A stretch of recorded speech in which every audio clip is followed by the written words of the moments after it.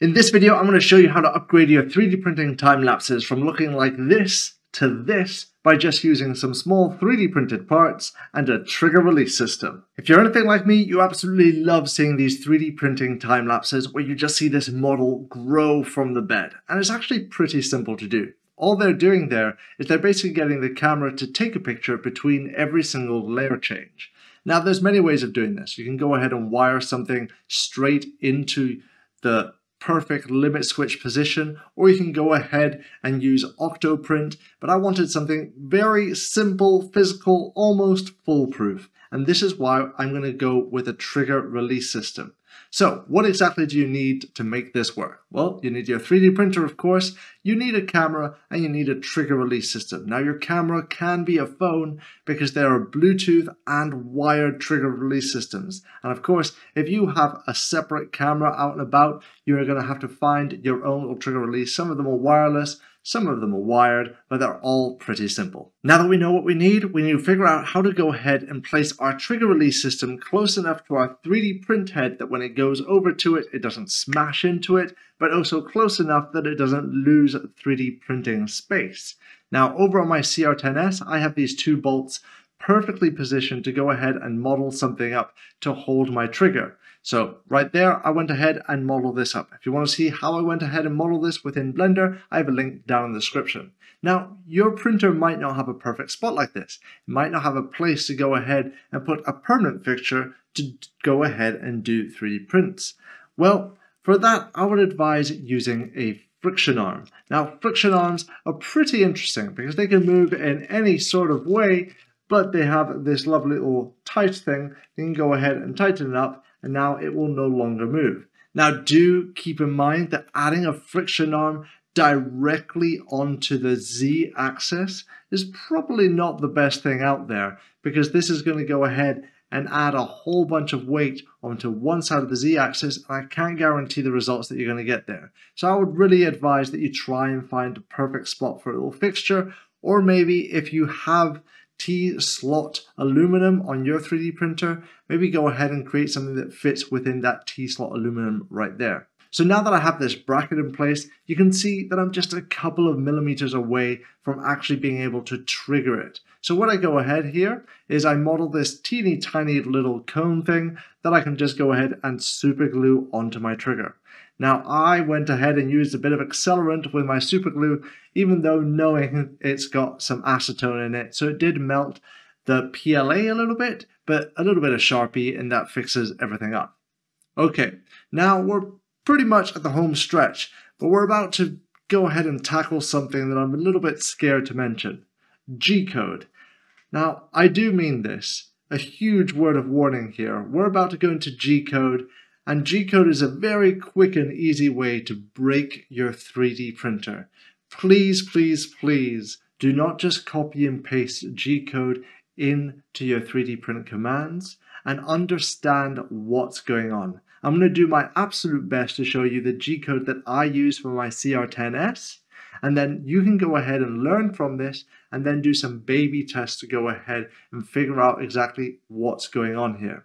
Because when I first did this, I almost broke my 3D printer. I felt like going ahead and scraping my nozzle across my glass and also across my steel clips, wrecking two of my brass nozzles. Anyway, with that huge word of warning out of the way, let's go ahead and jump into the G-code. So here we are within my slicer of choice, which is Prusa Slicer. Now, if you don't have Prusa Slicer and you have use a different slicer, I'm sure a quick Googling of custom G-code within your slicer is going to show you a solution. But here we are within Prusa, and this is the G-code that we need to put in. I'm going to go over to Printer Settings, and here where it says custom G code, here is where you're going to go ahead and put it in. You can put it in the before layer change G code, but I've gone for the after layer change as there is pretty much where I'm getting my best results. So let's go ahead and take a look at the code. So here it is. First, let's do a little bit of uh, learning what the G code is. So first of all, we've got a G91, which means use relative position.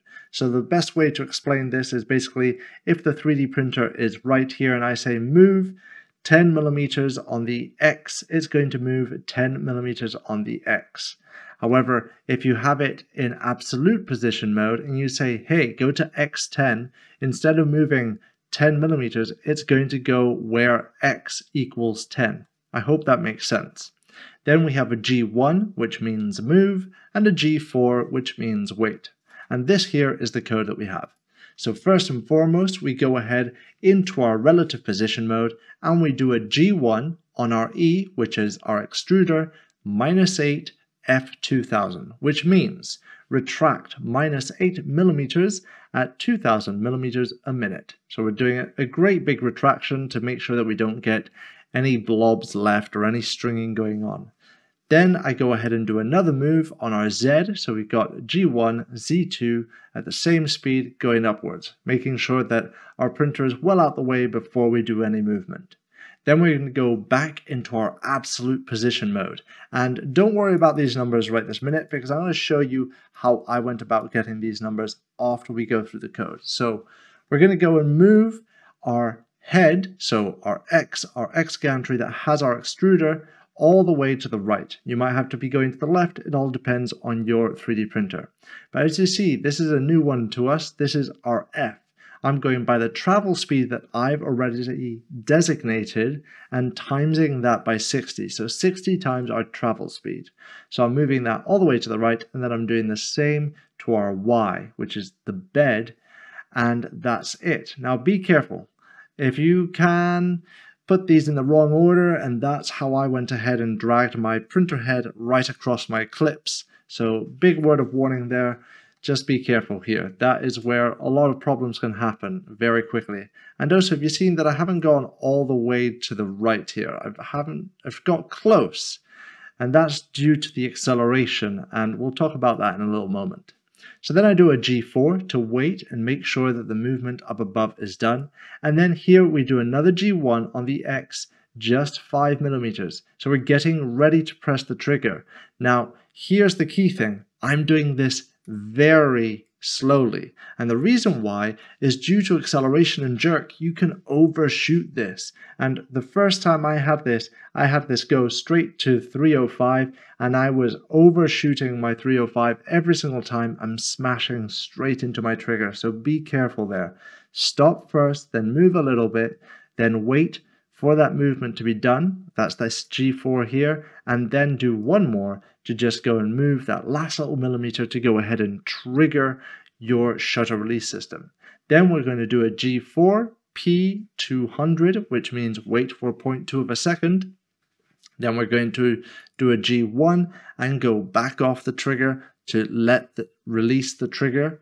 And then we're doing a wait. We're waiting for 1.5 seconds to make sure that the picture is taken with nothing moving. Then we're going back into our relative position, bringing the z-axis back down so it's getting ready to print, and then we do a G90 to return to the absolute position. Now, the keen-eyed of you might have realized, hey, what's going on? You did a massive retraction up here, and then you haven't gone ahead and primed the head once again.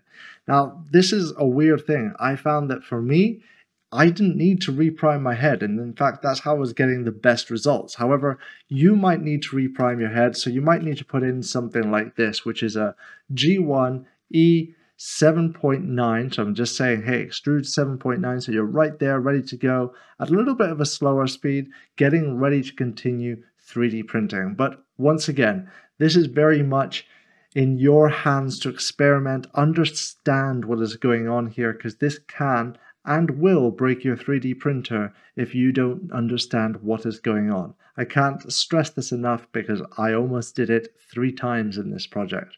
So true, do your test maybe in the middle of the print bed before you go ahead and commit it to the extremes of your print bed first. All right, now let's go ahead and show you how I got my numbers.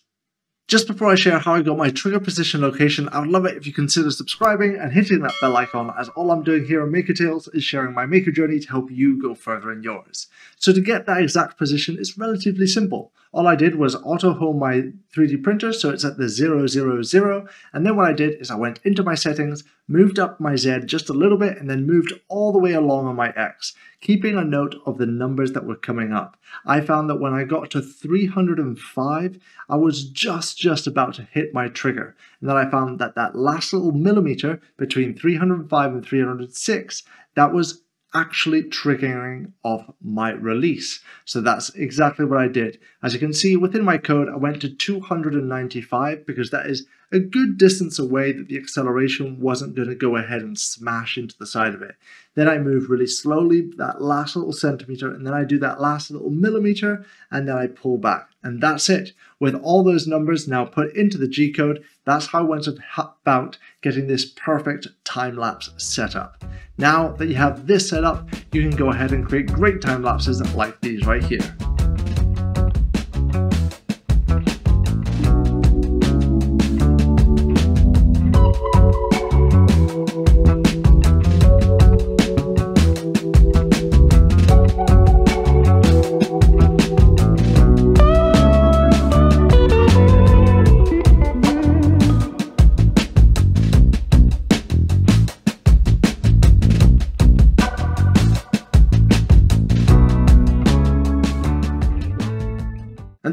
That's how to go about creating incredible time lapses of absolutely anything that you 3D print. Of course, some of you have a couple more questions, like how exactly did you turn all these photos into a video? How did you do that zoom in thing? How do you stabilize the footage?